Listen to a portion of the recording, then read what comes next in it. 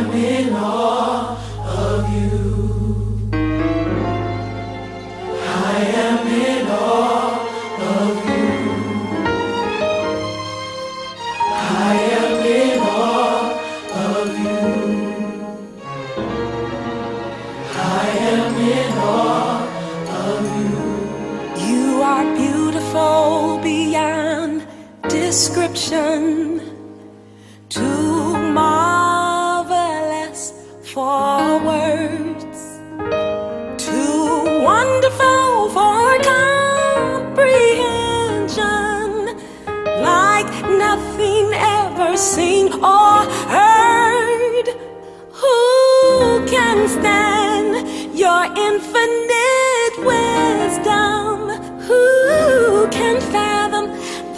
depths of your love?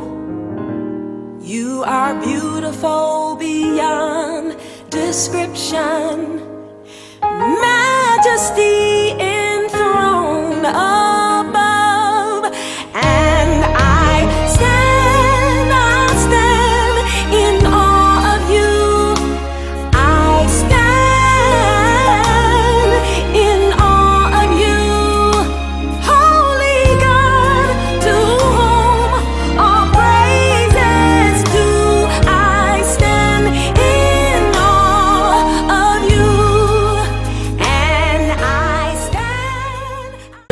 Our, lesson tonight will be presented by our pastor, Pastor Brown. Hear ye him. We reverence God and thank Him for the honor and privilege of being with you as we look at our preparation for April 24th.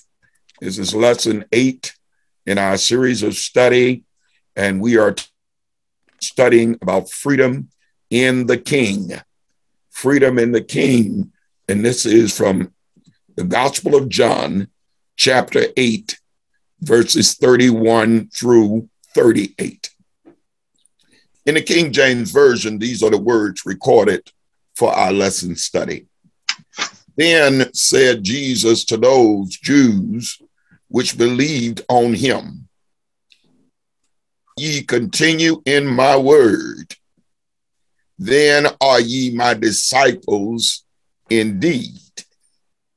Verse 32 And ye shall know the truth, and the truth shall make you free.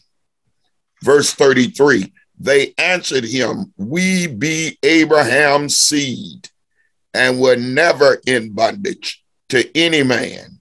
How sayest thou, Ye shall be made free? Verse 34 Jesus answered them, Verily, verily, I say unto you, whosoever committed sin is the servant of sin. Verse 35 And the servant abideth not in the house forever, but the son abideth ever. Verse 36 If the son therefore shall make you free, ye shall be free indeed. I know, verse 37, that ye are Abraham's seed, but ye seek to kill me because my word hath no place in you. And finally, verse 38 in our study tonight I speak that which I have seen with my father, and you do that which ye have seen with your father. Our key Yes. verse is verse 36 says, If the Son therefore shall make you free, ye shall be free indeed. Amen. This lesson is Amen. focused on liberation.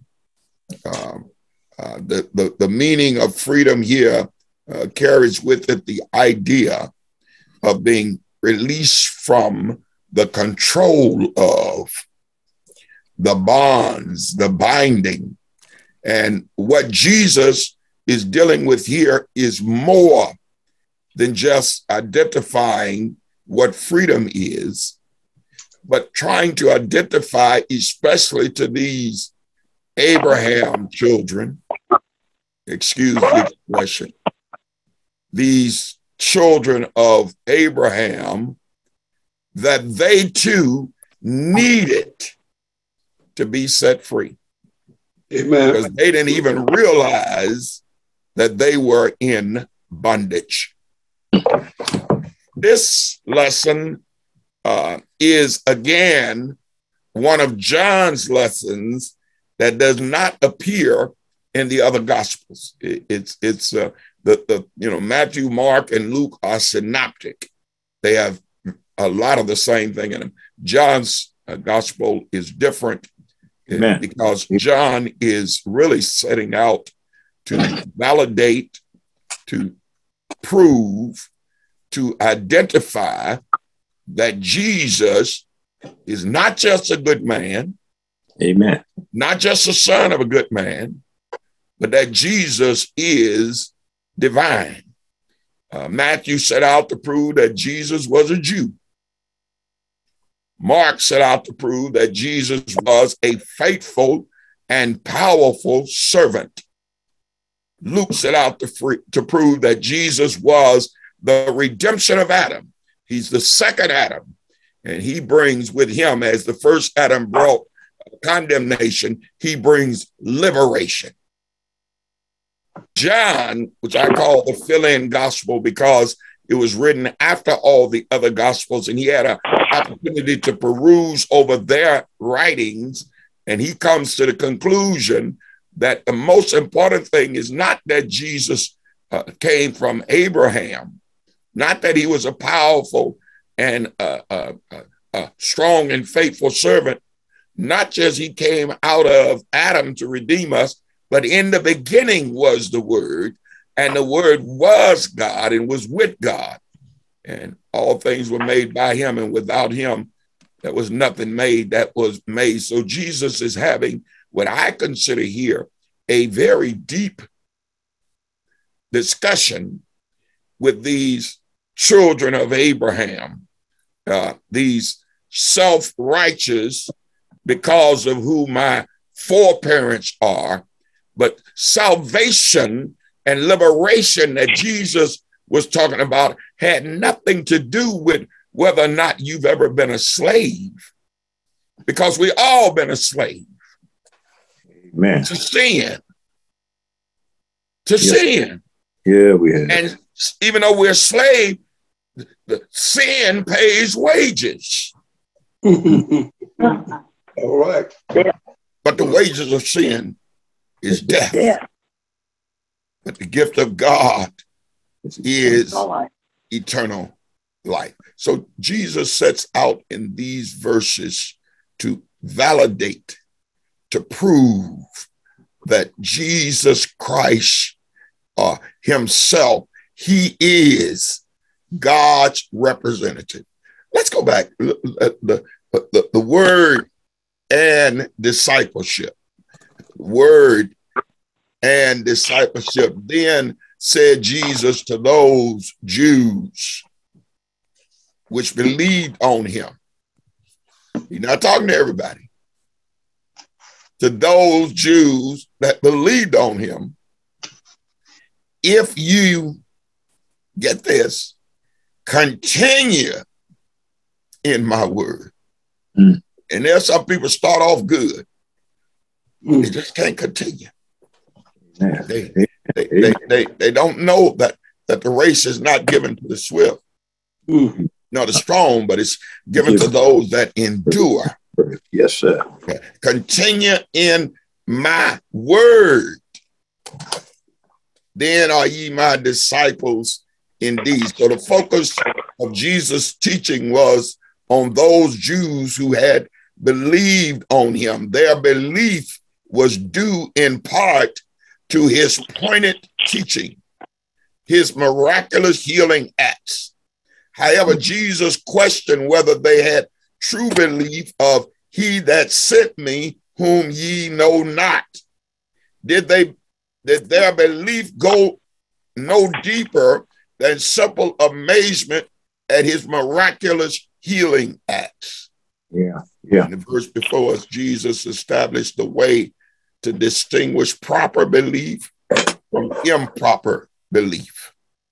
only those who continued in his word, only those who continued in his word were to be counted among his disciples indeed.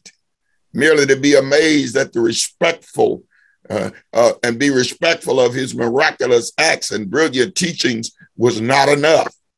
And there are some people that just like the excitement uh, of being a Christian. They like to see miracles. They like to hear a miraculous things that have happened. But what about the word?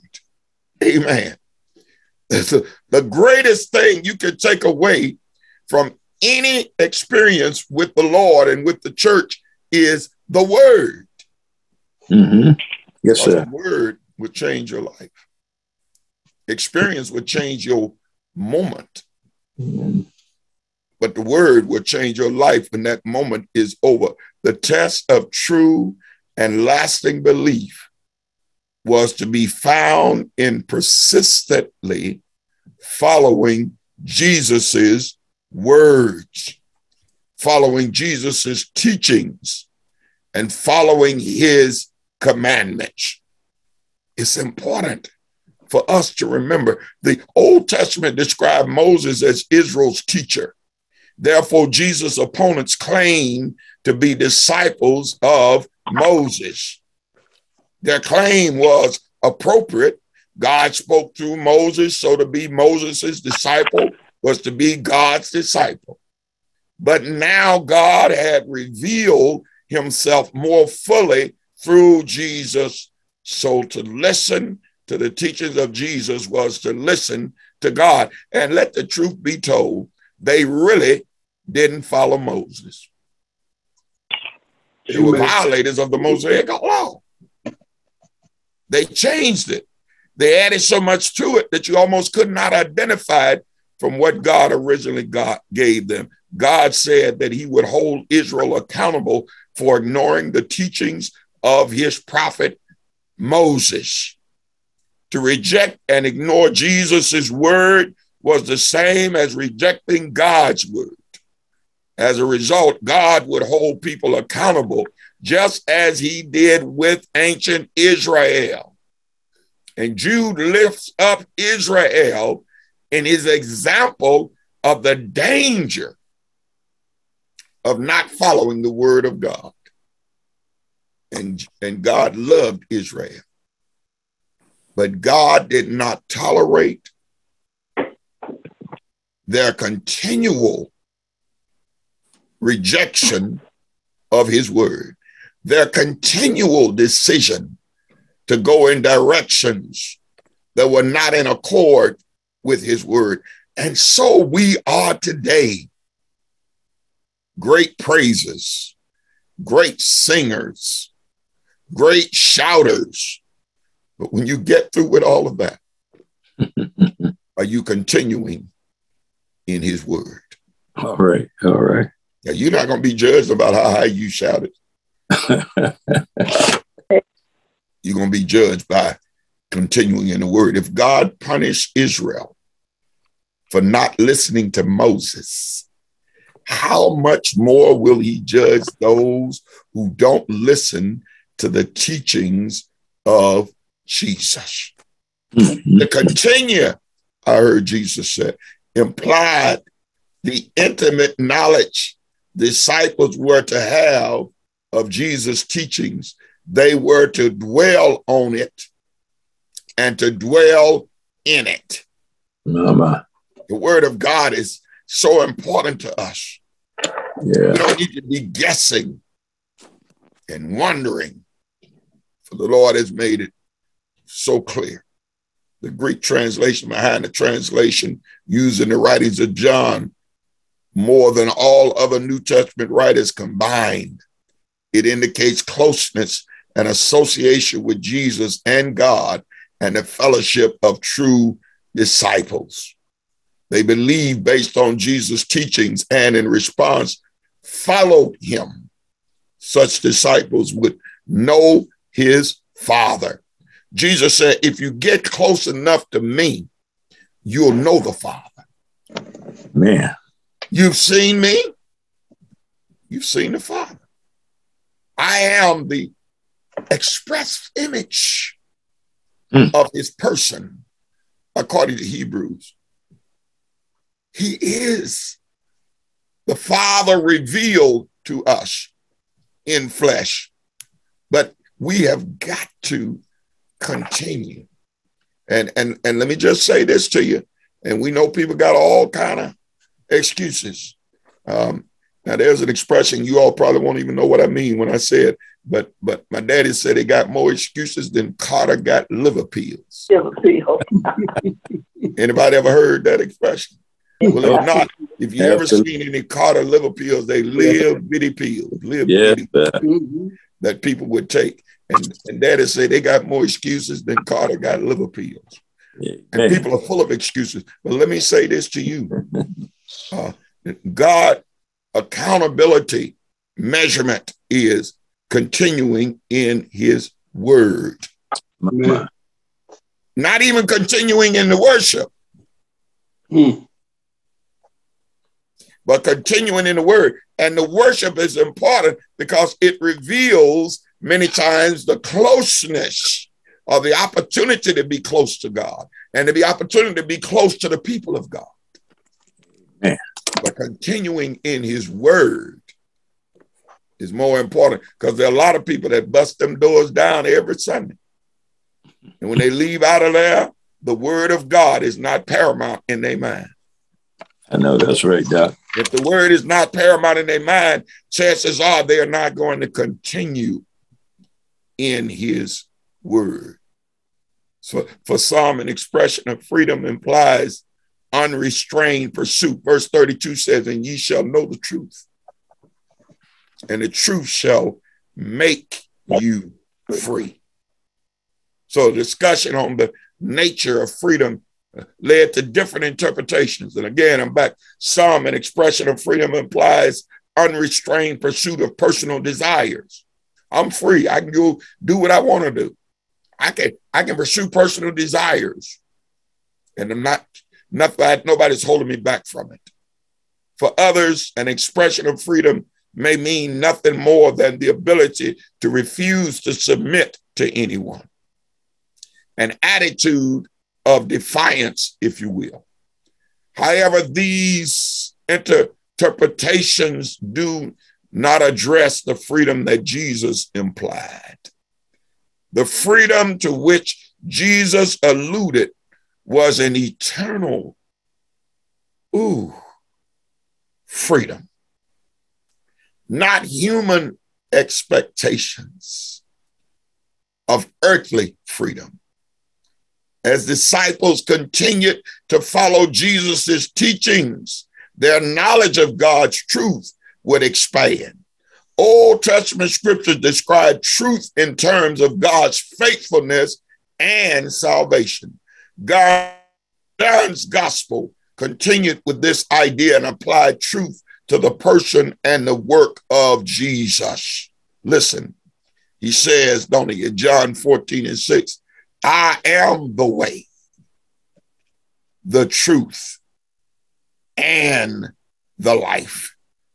As disciples remain in Jesus' teachings, they would know his truth. A life made free through salvation, found only in Jesus Christ. That's why I real when you really been saved, you can sing, I'm free. Praise the Lord, I'm free. No longer bound, no chains holding me. It's just a blessing. I'm free. Praise God. Hallelujah. I'm free. And the Lord sets us free to be his servants and to follow his way.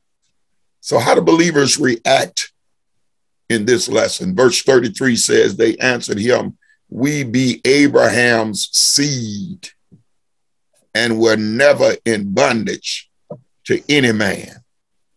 Now, Jesus had reminded hearers that he was not of this world, but was instead from above. We have to go up a little bit to see all of that. Like I said, he reveals his divinity in many ways in this particular lesson. If you read the entire eighth chapter, he deals with things that uh, un- unravels Mhm. the mystery of who he is. You know, they always ask him who he was and where he come from and by what authority. And in this eighth chapter, Jesus of John, Jesus sort of reveals some things. It, look, the people that asked the question didn't want to hear the answer, Amen. but they just used the questions to try to keep him off point, to try to distract him from his real ministry. And, and let me say this to you, and, and more and more, I'm, I'm identifying uh, what I call distractions. Mm. They're really not about anything except getting you off point, Amen. getting you away from the way you should be walking. And, and Hmm. some kind of distraction is somebody just making you angry. They just get on your last reserve nerve. And you're so angry, you can't function, you can't function in the faith. I don't That's know if right. anybody ever been there or not. That's right, Doc. That's right. You can't function in the faith. It's just like Amen. Because just the words that want to come out of your mouth don't have nothing to do with, oh, how I love Jesus. because, because he first loved me. And you can get distracted enough by life and by people. And the devil don't care nothing about interrupting your peace and interrupting your thought patterns.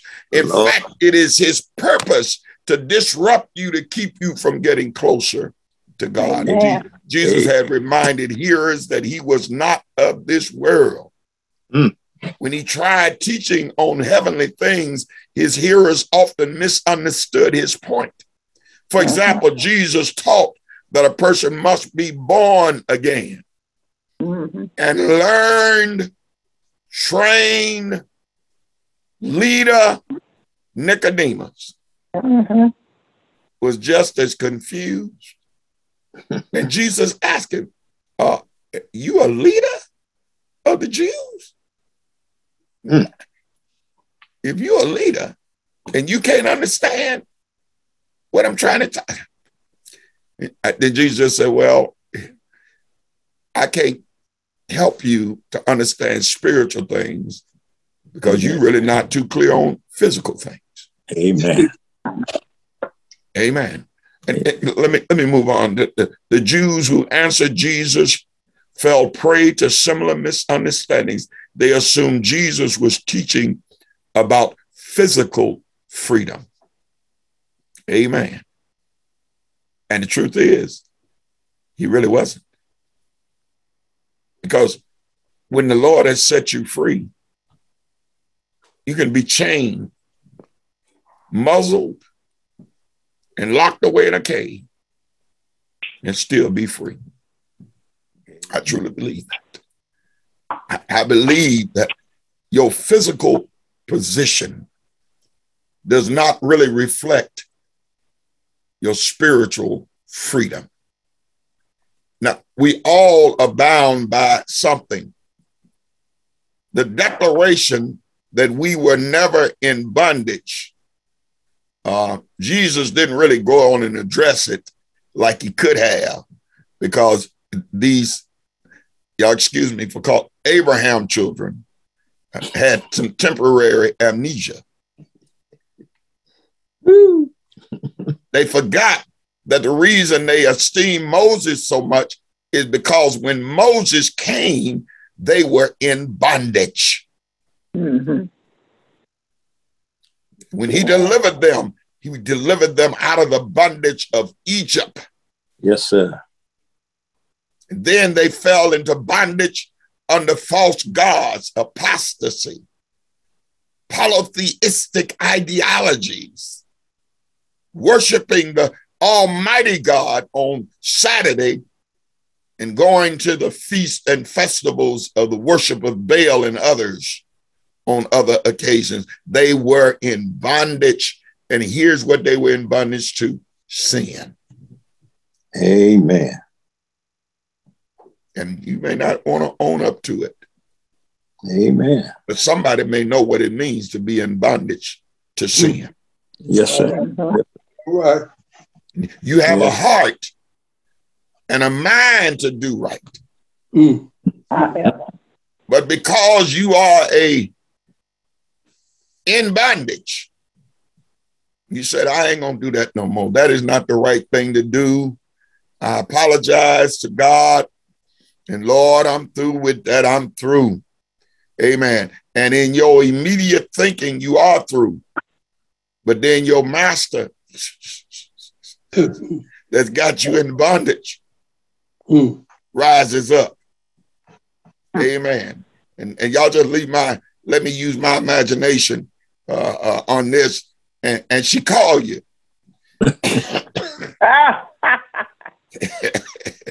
and you said, I'm through with her. I ain't going over there. Then you get in your car and your car drives itself. right on over. Might as well. because you're in bondage. But oh, it's wonderful when the Lord set you free. They had been bondage under Babylon, Mm. 586 BC, when the thundering hoofs of the, the army of Nebuchadnezzar, Babylonians, for the first time broke through the walls of Jerusalem, something that nobody had ever been done before, had been able to do. They were taken into bondage. So don't be selling about it. I ain't never been into bondage. You probably in bondage right now if you out there saying that. Well, the Medes and Persians had hold of them too, didn't they? Thank you. Afterwards. Yeah, Lord. And even though Darius set them free, they were still under the control of Assyria. Amen. Sir. Cyrus really, and then Darius came along. So the narrative shares with us that they have been in freedom. So what they were trying to do, a lot of times when people don't want to hear the truth, they go to lying Amen. because they don't want to. Well, I don't do none of that stuff you talking about. I'm just as saved as you. Amen. I ain't never been to church. Amen. You, you in bondage. You, Yes, you in a mental bondage. Verse 33, uh, B say, How sayest thou ye shall be made free if we've never been prisoners? The Jews questioned Jesus, placing the burden of proof on him. Their question implied that they believed they were currently free, which disregarded their current status in the Roman Empire. They were in bondage under Rome. Amen. They also failed to realize that Jesus was concerned with a different kind of freedom. Mhm. And that's that freedom we need. Jesus respond, sin and servitude. Verse 34. See, Jesus said, Jesus answered them, verily, verily. I like that other, the other word, truly, truly. Um, they, it's the same expression, but it just, it's, well, verily, verily, I say unto you, who whosoever committed sin is the servant of sin. So who is that whosoever? Who are them people that have committed sin? Everybody. Maybe the other question is, who is the person that have a committed? There you go. There you go. Lord, So help- Jesus said, we all yeah. are subject to the bondage. Jesus' response instantly upended the Jewish audience faulty understanding of bondage and freedom. While they were concerned with an earthly sense of bondage, Jesus spoke of a more important form. Jesus applied the bondage metaphor to whosoever committed sin. Such a person was a servant to sin. The ironic aspect was that it was one's own sinful desires that bound a person. Therefore, to find freedom, people should seek to become servants of righteousness. Servants of righteousness. The apostle Peter warned against false promises of freedom that led people to become servants of corruption. That's Second Peter 2:19. We ought to want to be servants of righteousness. We ought to pursue and desire righteousness for ourselves, and we ought to train and try to encourage others to seek the righteousness of God. Verse 35 says, And the servant abideth in a house forever, but a servant not in the house forever, but the son abideth ever. So Jesus continued his response to his Jewish audience through the use of the household metaphor. In a wealthy person's household, a servant would work for the master. Sometimes that servant would be the schoolmaster of the son of the master. However, even as a part of the house, a servant's presence was uncertain, as he or she could be sold or set free at any time. By contrast, the master's firstborn son and heir received all the safety, security, and economic advantage of the household, no matter the situation. The son was considered a permanent member of the household and received the blessing of the inheritance of the future generations. Jesus pointed his hearers to find permanent freedom from sin. How do you get it? Permanent freedom from sin through the Son of God. Amen. And the promise of his, his inheritance, because Yeah, not only is he heir, Mm-hmm. not only is he heir, but those who continue in his word, those who embrace the Son, are going to be joint heirs with him, which means they're also going to continue as the Son continues. Verse 36 If the Son therefore shall make you free, ye shall be free indeed. The title stressed Son's deity even while he was on the earth as the Son of God. Jesus is the source of eternal life. The Son and the Father are one, and they give glory to each other. Jesus taught that only he can make people free from sin. The devil will never set you free from sin. I don't care what he promises you. He will never he will never set you free from sin because the devil's agenda includes your bondage. Amen. With, Amen. with the proclamation in the verse before us, Jesus identified himself with the truth. The truth is going to set you free, who would bring freedom from condemnation and from death. I know, Jesus said to them, verse 37 Ye are Abraham's seeds, but ye seek to kill me because my word has no place in you. You could say you Abraham's seeds, but Abraham de- desired to see the Son of God. Jesus confirmed his audience earlier assertion that they were Abraham's seed. However, a valid claim to Abraham lineage was not enough. Jesus would remind his audience that if ye were really, if you were Abraham's children, you would do the works of Abraham. True children of Abraham follow in the faith of Abraham. And Abraham was a friend with God. And he desired to have relationship with God. So Jesus said, Y'all say y'all Abraham's seed, but if I can use this, I don't see it. Hmm. Like some people say they are Christians. and they outside the church trying to fight one another. I don't see it.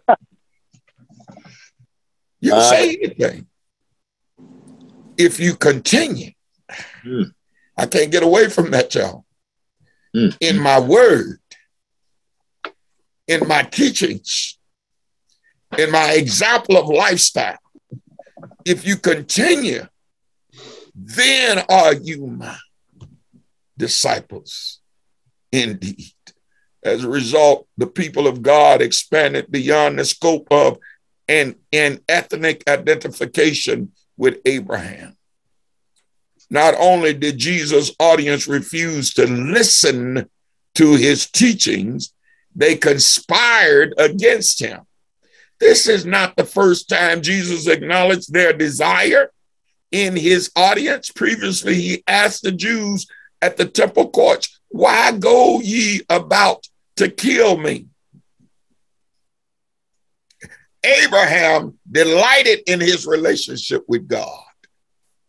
I'm come to bring you in back into relationship with God. You claim to be children of Abraham. Abraham did not like that. Whatever God told him he had to do to be in relationship with him, he willingly did it.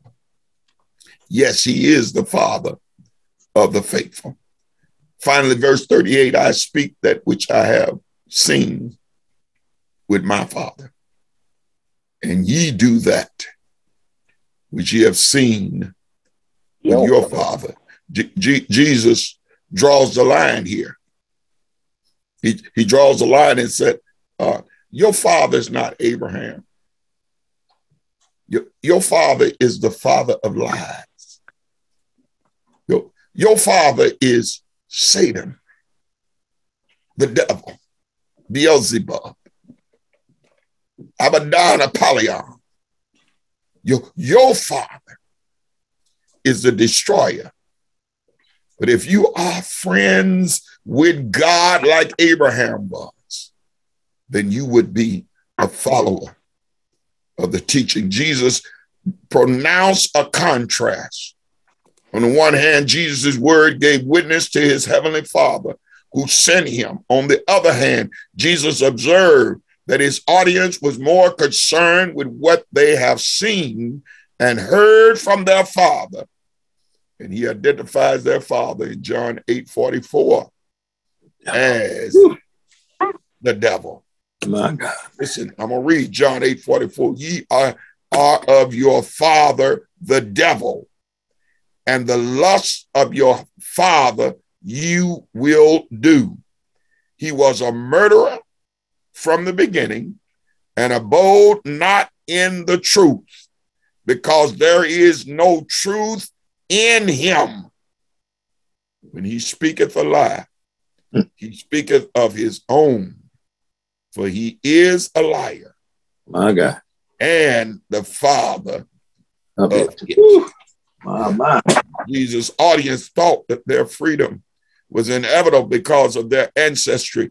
However, Jesus stated that they were deceived as long as they refused to listen and adhere to the teachings in, of Jesus, they would not experience true freedom. They would not know their heavenly father by failing to heed Jesus. The audience failed to listen to Jesus Christ. Jesus was concerned about freedom, liberation from the insidious grip of sin. Rome wasn't their greatest army enemy. You all have heard me say this before. The greatest enemy of the people of God in the days of Jesus and right now. is Satan. Amen. Sin done. He hasn't changed his posture. Hmm. He hasn't changed his. He hasn't gotten any better. If anything, he done got worse. I tell you this: if you don't believe he done got worse, he done got bolder. Yes, yes, yes, Yes. yes. Don't they talk about stuff on TV you never dreamed you'd hear some somebody Yeah. talk? Right. There's not a program hardly on television where there is not Sodom and Gomorrah reflected. Amen. Hey, you're right, man. Regular programming now. regular. Every show, Mm-hmm. Somewhere another in it. they they they almost twist the arms of the producers and the directors and say Yep. you gotta have this in it. They're trying to make immorality moral. Mm-hmm. They're trying to change wrong to right, and they're trying to ins- insult right by saying that this is not how it has to be. Woo. You got alternative oh, you're- families. You got alternative lifestyles. But I want you to know uh. there's not an alternative hell. Mm. Yeah. There's only one hell. Mm. And if you're not right with God, You're mm-hmm. it is your destination. Jesus spoke truth because he spoke the words of his Father. A declaration of true freedom, freedom that comes from the Father, leads to eternal life With the Son. with the Son. My, my, my. Well, that's our lesson. Freedom is found in the truth of Jesus. And he wants to set you free. Mm. He wants to set you free. Yeah, Lord. Will you be free? Amen. Free. Will you be Praise free? the Lord. Free. Mm. There's power in the blood. Mm. Yes, Lord. There's power Mm. in the blood. Mm. Power Power. To make you free. Yes, Lord. Praise God. That's that's our lesson presentation Woo. for this Sunday. And we praise God for the word of God, Yeah, Lord. Which is given for us. Abide in his word. Amen. And that don't mean just got your Bible open all the time, driving with a Bible open. That's not abiding in the word. Living. It's living Action. Yes. the word. That's how you abide in the word. So, Brother Superintendent, that's it mm. today. That's what I have for our study. And we praise God and certainly hope that this word will awaken somebody to the necessity of abiding in the word of God. Jesus kept trying to lead them back to the 12, didn't he? Kept trying. Kept trying. They wouldn't buy it, but he kept trying. Kept Hmm. trying. Yes, sir. And one, let me just say this: most of the time, if you won't own up to the truth, it's hard for people to help you. Oh, yeah. Closed fists. Anybody know anything about psychology and about counseling? If you won't own up to the truths, if you won't own up to your truth, It won't help you, man. Chances are they can't help you. Mm, won't help you. mm. The greatest help you need is to know the truth. Amen. It'll set you free. Amen.